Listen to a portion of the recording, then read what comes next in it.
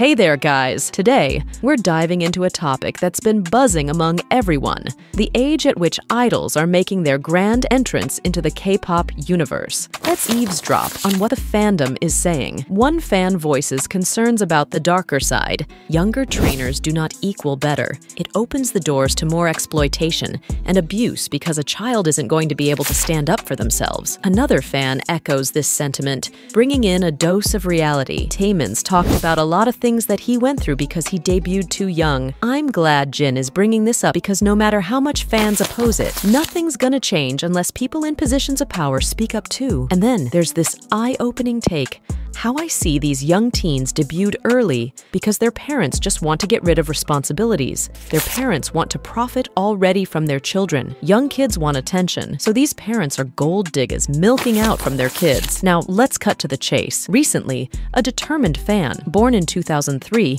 spilled the beans about her uphill battle to crack into the K-pop scene. The industry's response, you're too late. Hold up, born in 2003, and she's considered late? In the good old days of third and early fourth generation K-pop, pop. Being a rookie in your late teens or early 20s was no biggie. We had the likes of Red Velvet's Irene debuting at 23, NCT, Mamamoo, and even the BTS trio, Suga, J-Hope, and Jin, made their grand entrances between the ages of 19 and 21. But guess what? Times have changed. Fast forward to the present, and you've got idols like Lightsum's Jian and Tribe's Mire doing their stuff at the tender age of 15. Yes, you heard that right. 15. Meanwhile, P Nation faced the music for fielding a 12 year old in their boy group lineup. And if that doesn't raise your eyebrows, Universe Ticket just threw a 12 year old and two 14 year olds into the mix with their group Universe Ticket. Now, let's take a moment to hear from BTS's very own Jin.